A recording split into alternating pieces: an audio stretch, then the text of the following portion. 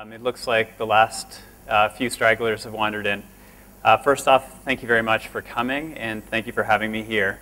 Um, it's definitely a pleasure to be here. So this talk, as it says up on the slides, is about uh, designing MVPs for enterprise customers.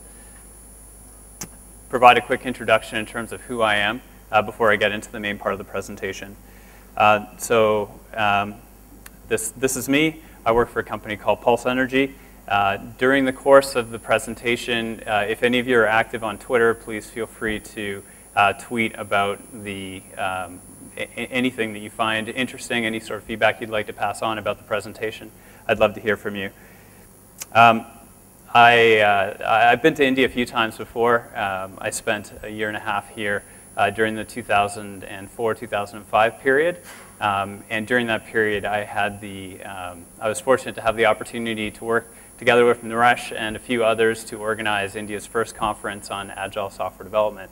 Um, so it's, uh, it's really great to be invited back uh, several years later to see how, how much the conference has grown. At that point in time, with the first conference, we had it um, at, uh, I, I, don't remember the precise venue, but it was a, a university uh, just southwest of, uh, of Bangalore on the way to Mysore.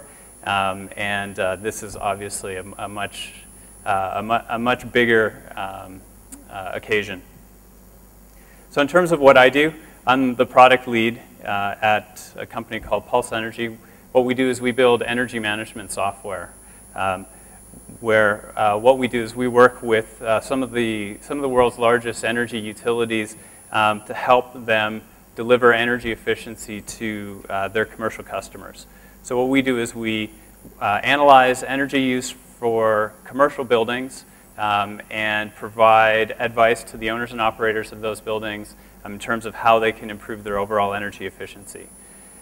For, for those people who are uh, familiar with what's going on in this space uh, pretty much across the world, there's been this transition where smart meters have been introduced. So digital meters have replaced analog meters for tracking things like electricity and gas consumption uh, by, by major uh, utilities. And what that's meant is that there is now a wealth of data about energy consumption um, in, in buildings, in homes and buildings, and, uh, and that's provided great opportunities for analysis and also uh, challenges associated with working with uh, big data sets for utilities. And so that's where my company comes in. So what we do is we collect all of that data, generally uh, it's on a five or 15 minute or an hourly basis uh, from these buildings, uh, aggregate them within our data centers, and do various types